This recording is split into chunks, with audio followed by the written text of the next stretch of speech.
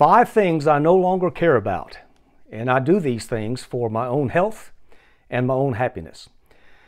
Hi, everybody, and welcome back to my channel, A Resilient Life. I'm Ronnie. There are some things in life that are not worth your time, effort, or energy. They are emotionally draining and will simply suck the life out of you. In some instances, it's okay to unfriend, unfollow, cut the umbilical cord, and separate yourself from unhealthy environments or even toxic environments. Now, the tips that I'm going to share with you today are not about being a selfish person or being an uncaring person, but rather I do these things for my own health, uh, my own health and my own happiness. And maybe you should too. But before I share these tips, let me pause to ask a favor. Be sure to hit that thumbs up button that you'll find down below and please subscribe.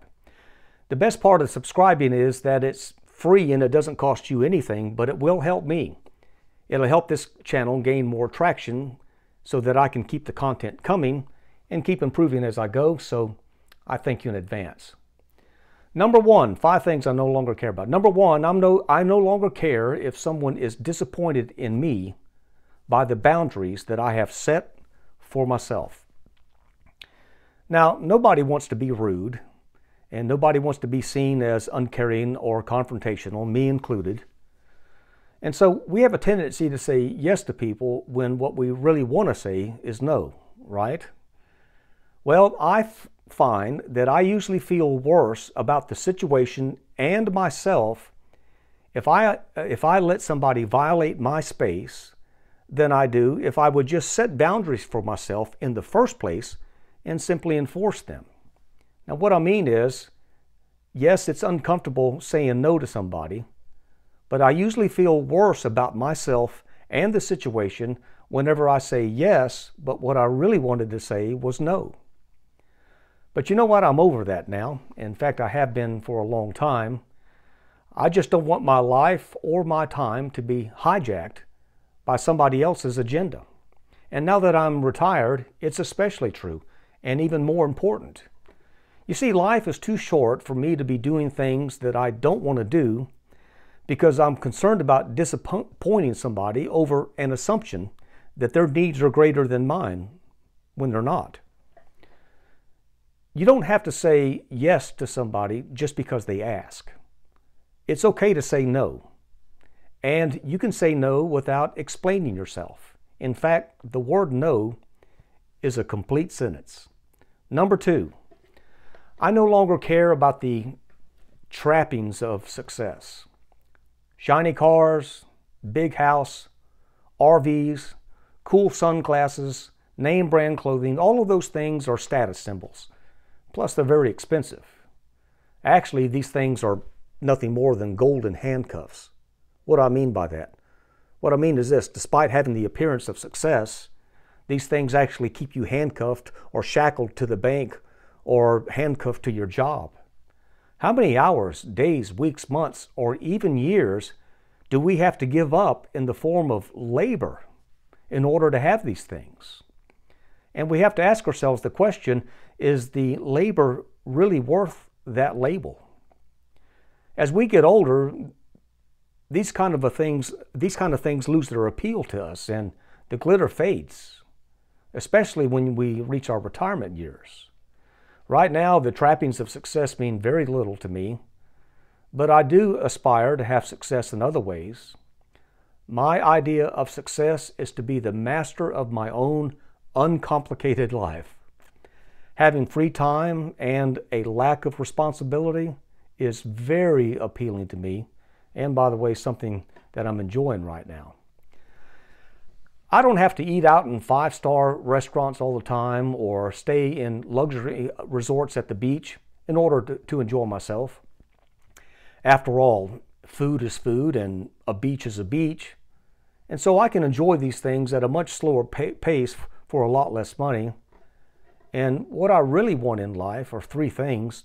Number one, inner peace. Number two, my health. And number three, control of my time you get to a certain age and you realize that these things are the most important things of all. And here's the real thing about it It doesn't matter if someone is several tax brackets above me, or if they're in the same tax bracket with me, or if they're in a tax bracket beneath me. You know what? We all look the same. We live in a house, we take out the trash on Fridays, we have a couple pets, and we all have an iPhone. So, all of those conspicuous emblems of wealth don't really add a lot of substance to our lives. In fact, if anything, at some point they become a burden. On the other hand, there's plenty of joy in just living and enjoying the simple pleasures of life. There really is. N- number three, I no longer worry about or care about my past mistakes or my failures. Now, we all make mistakes. That's just how life goes.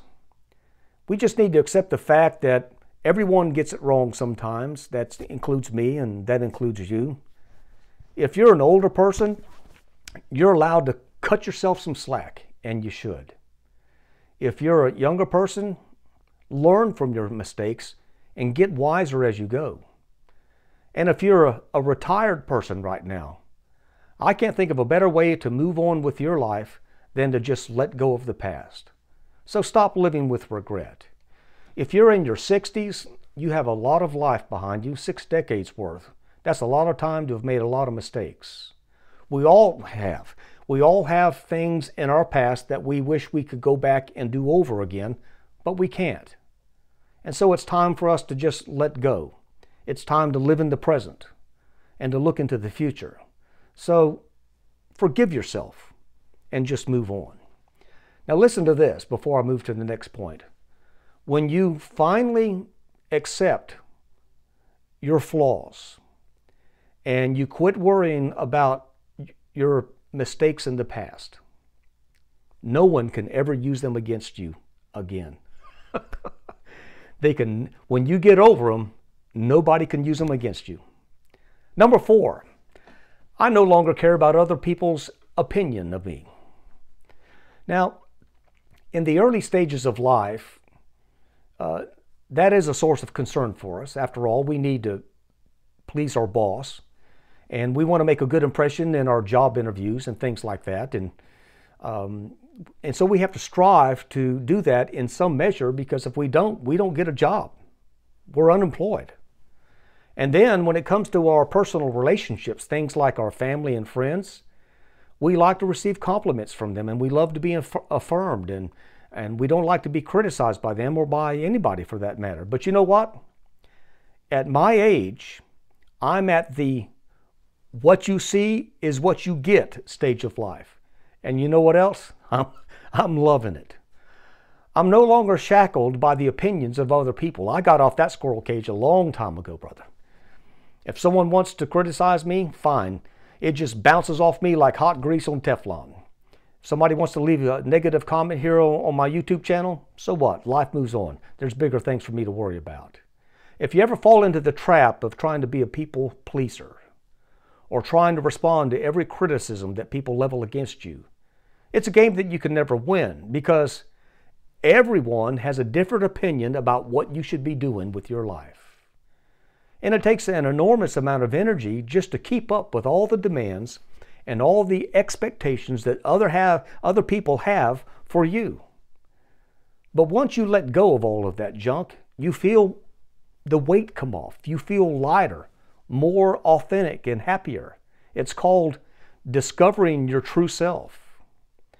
Maybe you've heard this quote before, and I'll remind you of it, and maybe it will help you moving forward.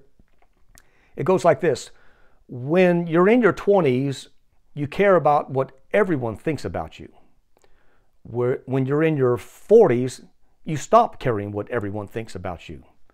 And then when you're in your 60s, you realize no one was ever thinking about you in the first place. Do you know how liberating that is? To just be unshackled from other people's opinions and just move on.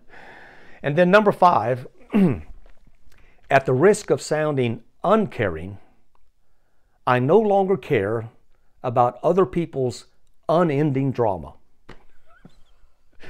now, if someone has a genuine need and I have the means to help, I'm glad to help.